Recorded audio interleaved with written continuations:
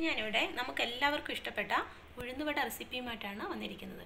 അതിനായിട്ട് ഞാൻ ഒരു നാല് മണിക്കൂർ നേരം വെള്ളത്തിലിട്ട് കുതിർത്തെടുത്ത ഉഴുന്നിവിടെ കഴുകി വെച്ചിട്ടുണ്ട്. അതിനെ ഒന്ന് അരച്ചെടുക്കാം.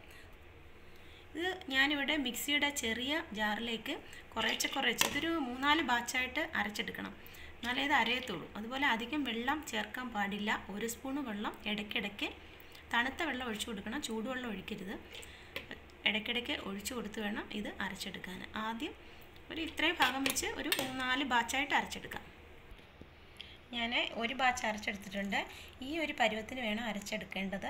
വെള്ളം ഒഴിക്കാതെ അരച്ചെടുക്കാമെങ്കിൽ അത്രയും നല്ലത്. അപ്പോൾ നമുക്ക് വെള്ളം അധികം ആയിക്കഴിഞ്ഞാൽ ഇത് ഷേപ്പ് കിട്ടും ഷേപ്പാക്കി നമുക്കിത് ഫ്രൈ ചെയ്തെടുക്കാൻ പറ്റത്തില്ല. അതുകൊണ്ട് ഇടയ്ക്കിടയ്ക്ക് ഒരു സ്പൂൺ വെള്ളം എടുത്തിട്ട് ഒരു തുള്ളിയായിട്ട് വേണം ഒഴിച്ചു കൊടുക്കാൻ. ഈ ഒരു പരുവത്തിന് വേണം അരച്ചെടുക്കാൻ. അങ്ങനെ എല്ലാം അരച്ചെടുക്കാം. ഉഴുന്നെല്ലാം ഞാനിവിടെ അരച്ചെടുത്തിട്ടുണ്ട്. ഇനി ഇതിലേക്ക് ഒരു സ്പൂണ് അരിപ്പൊടി ഇട്ട് കൊടുക്കാം. അരിപ്പൊടി നമ്മൾ വറുത്ത അരിപ്പൊടി വേണം. നമ്മൾ അരിപ്പത്തിരിയൊക്കെ ഉണ്ടാക്കാൻ ഉപയോഗിക്കുന്ന അരിപ്പൊടി. ഒരു സ്പൂൺ ഇട്ട് കൊടുക്കാം. ഇനി ഇതിലേക്കൊരു അല്പം സോഡാപ്പൊടി കൂടി ഇട്ട് കൊടുക്കാം. Baking soda. ഇനി ഇത് നല്ലോണം ഒന്ന് മിക്സ് ചെയ്ത് ഒരു അരമണിക്കൂർ ഒന്ന് റെസ്റ്റ് ചെയ്യണം. നമുക്ക് സമയമുണ്ടെങ്കിൽ ഒരു മണിക്കൂറോ രണ്ട് മണിക്കൂറോ ഒക്കെ വെക്കാം. ഞാനിപ്പോൾ ഒരു അരമണിക്കൂർ റെസ്റ്റ് ചെയ്യാൻ വെക്കുന്നുണ്ട്. നല്ലോണം ഒന്ന് മിക്സ് ചെയ്ത് കൊടുക്കണം. എന്നാലേ നല്ല പെർഫെക്റ്റ് ആയിട്ടുള്ള വട നമുക്ക് ഉണ്ടാക്കിയെടുക്കാൻ പറ്റത്തുള്ളൂ. ഇവിടെ നല്ലോണം ഒന്ന് മിക്സ് ചെയ്ത് വെച്ചിട്ടുണ്ട്. അരമണിക്കൂറിന് ശേഷം എടുക്കാം. ഇതിപ്പോൾ അരമണിക്കൂർ കഴിഞ്ഞിട്ടുണ്ട്. ഇതിനെ ഒന്ന് തുറന്ന് നോക്കാം. ഇതിപ്പോഴും കുറച്ചുകൂടെയൊക്കെ മാവ് ഒന്ന് പൊങ്ങിയൊക്കെ വന്നിട്ടുണ്ട്. എല്ലാം കട്ടിയൊക്കെ തോന്നുന്നുണ്ട്. ഇനി നമുക്കിതിലേക്ക് മറ്റ് ചേരുവകളൊക്കെ ചേർത്ത് കൊടുക്കാം. അപ്പോൾ ഞാനിതിലേക്ക് ഒരു കാൽ ടീസ്പൂൺ സാമ്പാർ പൊടി ഇട്ട് കൊടുക്കുകയാണ്. ഇതാണ് ഇതിന്റെ ഒരു സീക്രട്ട് ഇത് ഇട്ട് കഴിഞ്ഞാൽ നല്ല പെർഫെക്റ്റ് ആയിട്ടുള്ള ഉഴുന്നോടെ നമുക്ക് കിട്ടും. ഒരു പ്രത്യേക ടേസ്റ്റ് വരിക്കും ഇനി ഇതിലേക്ക് ചേർത്ത് കൊടുക്കാനായിട്ട് ഞാനൊരു സവാളയുടെ ഒരു കുറച്ച് ഭാഗം അരിഞ്ഞു വെച്ചിട്ടുണ്ട്.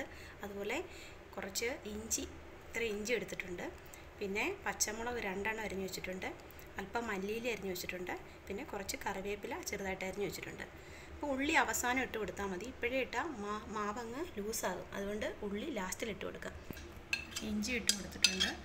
അത് പച്ചമുളക് മല്ലിയില കറിവേപ്പില. ഞാൻ വിട്ടുപോയ ഒരു കാര്യമുണ്ട്. അതായത് നമ്മൾ ഉഴുന്നുവടയുടെ മാവെടുത്തത് പരുവമാണെന്ന് അറിയാൻ വേണ്ടിയിട്ട് നമ്മൾ ഒരു പാത്രത്തിൽ കുറച്ച് വെള്ളം എടുക്കണം. വെള്ളം എടുത്ത ശേഷം ഒരല്പം മാവെടുത്തിട്ട് ഈ വെള്ളത്തിലോട്ട് ഇട്ട് കൊടുക്കണം. പൊങ്ങി കിടക്കുവാണെങ്കിൽ ഉഴുന്നുവടയുടെ മാവ് റെഡിയാണെന്നറിയാം. ഇതിപ്പോഴ് പൊങ്ങി കിടക്കുകയാണ്. മാവ് റെഡി ആയിട്ടുണ്ട്.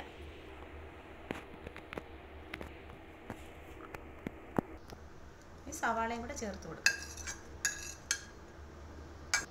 ഇനി ഇതിലേക്ക് ആവശ്യത്തിനുള്ള ഉപ്പിട്ട് കൊടുക്കുക ഇനി ഇത് നല്ലോണം ഒന്ന് മിക്സ് ചെയ്തെടുക്കാം.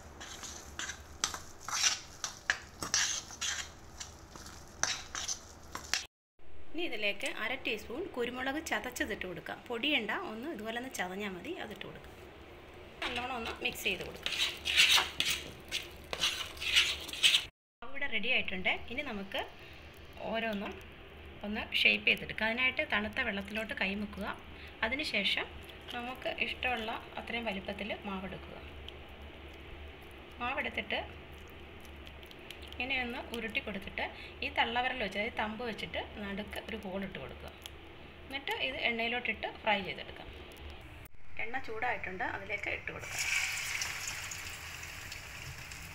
ഓരോന്നും ഇങ്ങനെ ഷേപ്പാക്കി ഇട്ട് കൊടുക്കാം ഇതിപ്പോൾ ഒരു വശം പൊരിഞ്ഞിട്ടുണ്ട് ഇതിനൊന്ന് തിരിച്ചിട്ട് കൊടുക്കാം രണ്ട് വശം ഫ്രൈ ആയിട്ടുണ്ട് ഇത് നമുക്ക് കോരിയെടുക്കാം. ഇനി വീണ്ടും അതുപോലെ കൈ വെള്ളത്തിലൊന്ന് നനച്ചിട്ട് കുറച്ച് മാവെടുത്ത് ഒന്ന് ഉരുളയാക്കി എടുക്കുക. പിന്നെ നടുക്ക് നമ്മുടെ തള്ള ഉരുളുകൊണ്ട് ഒരു ഹോളിട്ട് കൊടുക്കുക. ഇങ്ങനെ തന്നെ ഷേപ്പാക്കി എടുക്കാം. ഒരു വടയൊന്ന് മുറിക്കാം. മുറിച്ച് നോക്കാം. അതായത് പുറം നല്ല ക്രിസ്പിയും അതുപോലെ അകം നല്ല സോഫ്റ്റുമാണ് നല്ല സോഫ്റ്റ് ഇത് നമുക്ക് വീട്ടിൽ തന്നെ നമുക്ക് ഈസി ആയിട്ട് ഉണ്ടാക്കിയെടുക്കാം. അങ്ങനെ നമ്മുടെ ഉഴുന്നുവട എല്ലാം ഇവിടെ ഫ്രൈ ചെയ്തെടുത്തിട്ടുണ്ട്. ഈ റെസിപ്പി എല്ലാവരും ഒന്ന് ട്രൈ ചെയ്ത് നോക്കുക. നമുക്ക് ഈസി ആയിട്ട് വീട്ടിൽ തന്നെ ഉണ്ടാക്കിയെടുക്കാം. അതുപോലെ ഈ വീഡിയോ ഇഷ്ടമായെങ്കിൽ ഈ ചാനൽ സബ്സ്ക്രൈബ് ചെയ്യാത്തവർ ഒന്ന് സബ്സ്ക്രൈബ് ചെയ്യുക. അതുപോലെ ലൈക്ക് ചെയ്യുക കമന്റ് ചെയ്യുക ഷെയർ ചെയ്യുക. താങ്ക്